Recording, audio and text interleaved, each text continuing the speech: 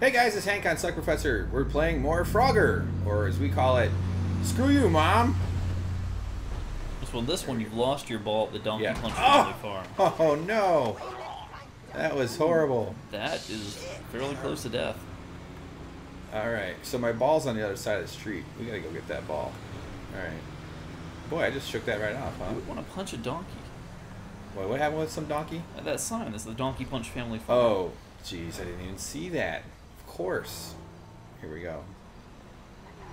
All right.